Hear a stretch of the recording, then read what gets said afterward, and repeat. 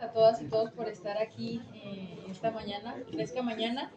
Me acompañan las regidoras integrantes de la Comisión de Nomenclatura y Patrimonio Cultural y en esta ocasión eh, queremos informarle a todos los medios de comunicación que desde el 21 de octubre está la convocatoria eh, de la presea Fray García de San Francisco.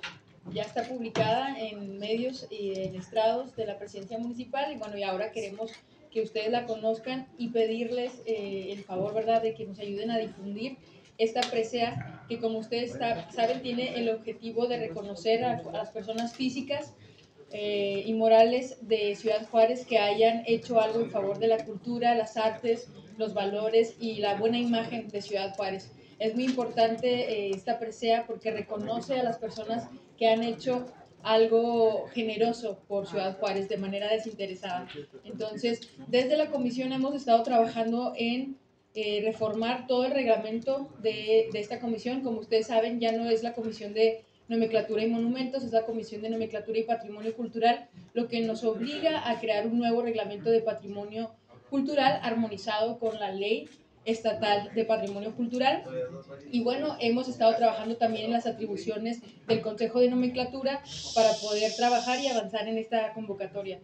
Eh, antes de cederle el uso de la voz a mis compañeras de la comisión, quiero comentarles que eh, esta entrega se entrega el 8 de diciembre, que es el aniversario de la Fundación de Ciudad Juárez, y para ello estamos haciendo en conjunto con la Dirección de Educación y Cultura y el IPACUL, pues un programa para celebrar el aniversario de Ciudad Juárez durante toda la mañana, ¿no? que tiene varias actividades.